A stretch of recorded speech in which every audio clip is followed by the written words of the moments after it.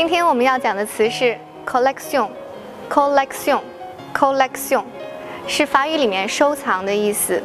那现在我们身处的呢是雅昌艺术中心里面的图书墙，这面图书墙呢也是全亚洲最大的一面图书墙。那走进来的话呢，大家可以看到有好几层的阶梯。如果说把图书馆比喻成天堂的话，那这些阶梯就是通往天堂的阶梯了。那今天我们邀请到的主讲嘉宾呢？是两岸三地非常知名的词作人，也是音乐人姚谦先生。同时呢，他有另外一个身份，就是在收藏业内非常知名的收藏家。那此刻，姚谦先生就会就收藏的话题与我们聊一聊。我们非常的荣幸呢，能够邀请到姚谦老师来跟我们分享这个关于收藏的话题。我也很荣幸到 到。我我们都知道姚谦老师是著名的这个音乐制作人。嗯，对，搞音乐的。这个大家都知道，但是大家可能还不知道您的另外一个身份就是收藏家。嗯，不能说家，我喜欢收藏而已。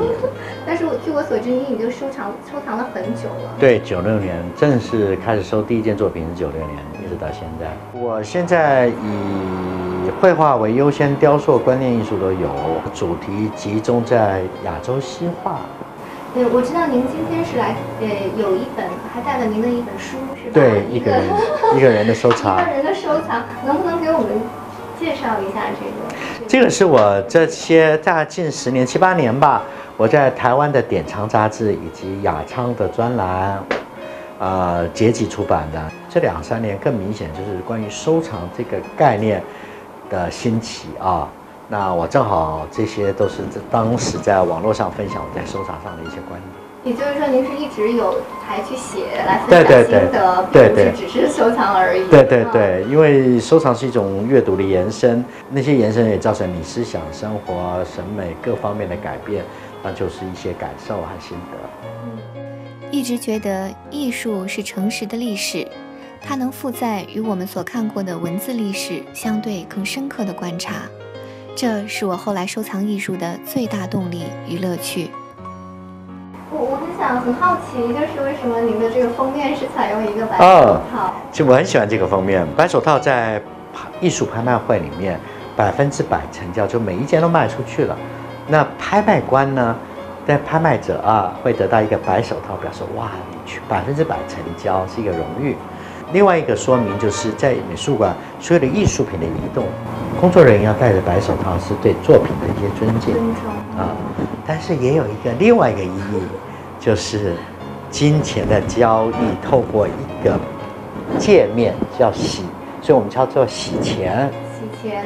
其实洗钱在另一个通俗的语法叫白手套，透过一个白手套把钱给移转过去。哦，是这个意思。在我们的概念里啊，如果说要参与到艺术品收藏还有拍卖。是不是要有很大的这个财力的支撑？呃，我里面就常提，因为我不是有财力的人，不是吗？我不是，所以我还在开玩笑，我是在富豪的游戏里面安贫乐道的活着啊。但是是你在出书，因为富豪不用出书呀。我意外收到我最想收的三个艺术家的其中书钉的故事，只要有好的书钉，在我的预算范围内，他会提醒我。所以他们推荐了一件，我觉得啊很好，而且年份很好，考证也很好，然后我就决定买了。哇，从十五万起拍，我就等，很快就拍了三十万。我想超太多，而且这个预算会要我的命的，我就放弃。那果然对方就在三十五过了三十万那一口就买下了。没想到隔了十二年之后，哎，这件画又在纽约，又在佳士得又出现了。我就行了，签了，下了标单，同意了。那天晚上果然电话就来了，对方电话那头那个女孩特别的充满了惊喜惊讶，说：“哇，谢丽谢丽，你接电话。”我心想：“为什么呀？”说：“你不知道吗？你要下大雪，有史这世界最大的一场雪，对大雪造成大停电，交通大堵塞。”我那时候突然就有个奇怪的预感，果然我在十八万买到。哇！透过十二年的通货膨胀的扣除，我几乎接低于半价买回，隔十二年，所以我相信中国十二年是一个轮回。如果如果是他是十三年拿出来，也轮不到我啊。后来还有一些有兴趣下拍，只要是纽约，我都问：哎，下雪了没啊？当然后来都没再下过雪了，我也没捡到漏了。但是这是您跟这个书丁的故事。我常用这个故事告诉有兴趣，就不要勉为其难的收藏。我相信艺术品跟收藏者是有缘分的。我记得就是苏东坡有一首词哈，他说。为江上之清风，与山间之明月，嗯，耳得之而为声，目遇之而成色。是，我觉得您在这个呃声音啊、视觉啊 这种感受里，已经得到了非常大的欢愉和是非常多的丰富了你的人生。是，所以您觉得人生的意义到底是什么？或者说什么是真正的成败？或者是？我觉得享受经过，而且思考经过，然后成就下一个经过是不一样的结结果，会更接近你。期待的结果。哦，杨老师，您知道吗？就是 从今天您的新书推荐和跟您的这个谈话，我真的我我收获了很多。谢谢谢，不敢当不敢当。是的，我觉得就是你在做一件事情的时候，嗯，收藏也好，或者音乐创作也好，好像是你是在呃去享受它。啊，真的是。对，而且从之中，它又不同的每一个作品或者后面，它又丰富了你的人生。所以我说啊。呃，收藏在一些越延伸越的，不用努力。嗯，其实因为你在享受，你就不觉得那是一个你用劲、较劲的事。而且你还得到了财富上面的 升值，是这个意思。好的，那我们今天真的是非常开心啊，跟跟姚谦老师的谈话，然后希望我们以后能还有机缘。好呀，希望是在巴黎。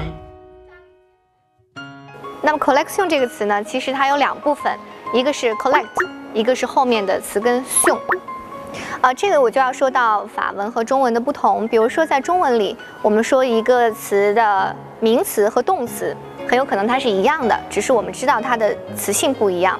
但是在法语里，这个词如果做动词或者做名词，那它的构造是写法是不一样的。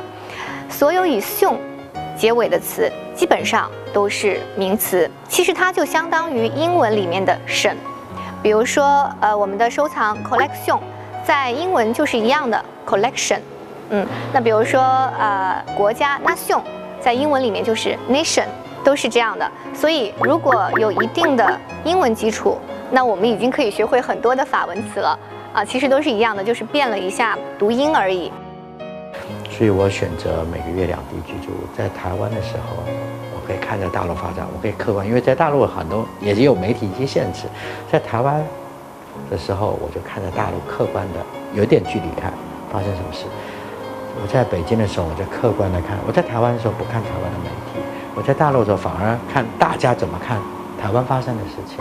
我就要有一点距离，然后我提出，我才有一些客观的判断。我不要沉溺在当当局中的自怜自溺的几分之中。那这件事情让我觉得这十几年、十三年过得特别的超然和自在。如果想说一口性感的法语，如果想到法国浪漫一游，那就赶紧扫描屏幕上的二维码，此刻在这里等你哦。